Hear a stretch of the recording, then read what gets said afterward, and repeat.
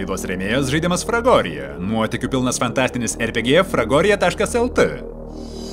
Sveiki, gameriai! Šiandieną naujienose papasakosime, kaip užsidirbti YouTube'e, apie Steam atnaujinimus ir dar šį vietą. Žiūrim! Call of Duty fanai turėtų suklusti. Parsisinčiamas Call of Duty Advanced Warfare turinys Havoc asmeniniams kompiuteriams PlayStation 3 ir 4 konsolėms pasirodys jau vasario 26 dieną. Galų gale asmeninių kompiuterių ir PlayStation turėtojai galės išbandyti kooperacinį režimą Exo Zombies, kurio Xbox turėtojai mėgaujasi jau seniai. Havoc žaidėjams pasiūlys keturis naujus žemėlapius - Koa, Urban, Sideshow ir Drift. Gameriai turintys Call of Duty Advanced Warfare Season Pass Hava gaus nemokamai, o visiems kitiems jis kainuos 15 dolerių. Kompanijos Valve sistema Steam ir toliau išlieka absoliučia lyderė savo sferoje. Visgi karaliai nesiuošia mėgoti ant laurų. Pastaruoju metu Steam sulaukė itin didelių naujovių. Vartotojus, kurie gauna beta versijos atnaujinimus, pasiekė dar vieną smagi žinia. Nuo šiol jie savo bibliotekoje galės matyti ne tik pagrindinius žaidimus, bet ir jų turimus papildymus, geriau žinomus DLC vardu. Sąraše pateikiamas visas galimas papildomas turinys bei svarbiausia informacija apie juos. Dabar žinosite, ar visi atnaujinimai yra įdėkti ir kokių trūksta iki pilnos kolekcijos. Kita įdomesnė naujovė ta, kad nuo šiol pasinaudojus Steam integruotą naršyklę turėsite galimybę ištrinti susikaupusius sausainiukus - cookies. Tai pasielgta siekiant padidinti saugumą ir vartotojų privatumą.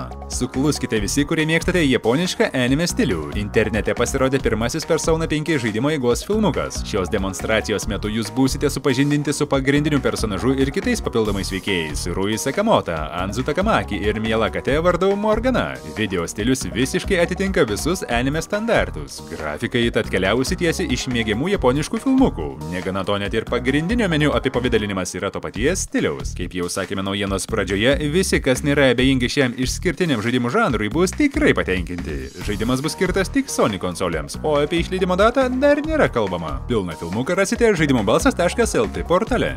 Norite uždirbti YouTube'e ir turite Nintendo konsoles? Tai klausykitės atidžiai. Nintendo pagaliau paleido Nintendo Creations programą, kuri ir padės gameriams uždirbti. Tiesa, vos prieš keletą dienų startavusi Nintendo Creations programa jau susidūrė su pirmosiomis problemomis, bet jos nėra labai blogas dalykas pačiai Nintendo. Pagal pasižadėjimą kompanija į gamerių užklausas turėtų atsakyti per 2-3 dienas. Visgi dabar tai užtrunka kiek ilgiau. Viso to esmė žymiai didesnis susidomėjusiųjų ratas nei buvo tikėtasi. Programos kuriejai dar kartą patvirtino, kaip turi vadintis filmukai ir kanalai norintys dalyvauti Nintendo YouTube sistemoje. Priminsime, kad kompanija Nintendo nusprendė įvesti savo YouTube mokėjimų sistemą. Pasirašius šią sutartį, žaidimus filmuojantis žmogus galės gauti pinigėlius už reklamą. Nors mokėjimų procentinės dalis kiek keistokos, visgi susidomėjimas nemažas. Įdėjus filmuką su Nintendo žaidimu ir užregistravus jį šioje programoje, japonų kompanija jums duos nuo 60 iki 70 procentų pinigėlių, kuriuos jį uždirbs iš YouTube. Tiesa, jei įdėtas video nebus registruojamas programoje, jis iš karto bus pašalintas dėl autorinių teisių pažeidimo. Tada arba gauni pinigų, arba tavo filmukas bus ištrintas. Įdomi situacija. Praėjusiu metu ruduo buvo kiek išskirtinis Assassin's Creed serijos fanams, nes rinkoje pasirodė net du visiškai skirtingi žaidimai. Naujos kartos sistemoms skirtas Unity, o senutėms Xbox 360 bei PlayStation 3 Rogue. Visgi pastarasis produktas susilaukė nemenkos sėkmės. Matyt, žaidėjams patiko atsidurti kitoje barikadų pusėje nei įprastai ir imti medžioti pačius slaptuosius žudikus, nes Ubisoft Rogue išleidžia ir asmeniniams kompiuteriams. Pagaliau mus pasiekė žinios, kadagi startuos šis projektas. Kalendorijoje galite pasižymėti kovo 10 dieną. Negana to, sulaukė sulaukėme ir informacijos, kokio galingumo geležies prireiks norint deramai mėgautis žaidimu. Šiuos skaičiukus rasite žaidimo balsas.lt portale.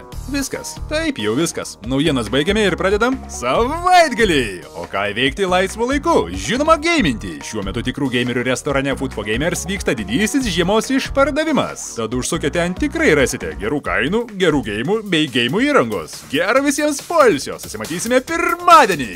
Iki.